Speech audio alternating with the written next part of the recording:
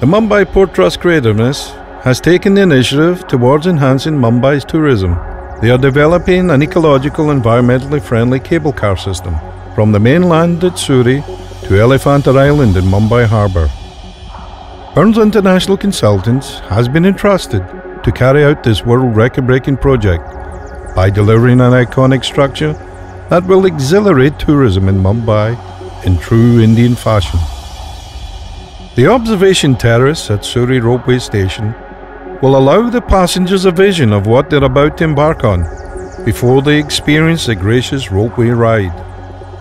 The gondolas will ascend high over the sea, giving you a spectacular view of the proposed Mumbai Trans-Harbour Link, the famous mudflats, the vegetation with its incredible wildlife, and the magnificent pink flamingos.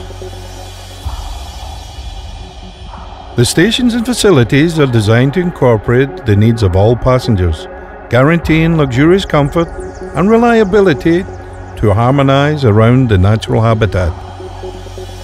State-of-the-art technology has been incorporated to deliver the highest safety standards and security measures that is required today.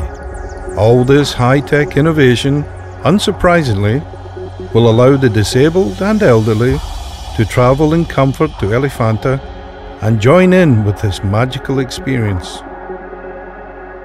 This incredible smooth journey will give you an impeccable bird's eye view of the maritime shipping and the beautiful Jawahar Dweep Island. You will discover your journey to Elephanta will be over before you know it, where you can enjoy the enchantment of the historic 2000 year old caves.